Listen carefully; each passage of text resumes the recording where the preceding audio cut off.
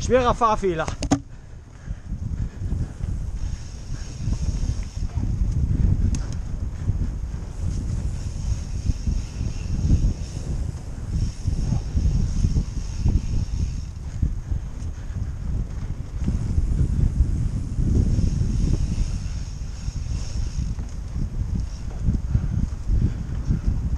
Hier ist Klaus äh, Bett in Gedächtnisstrecke.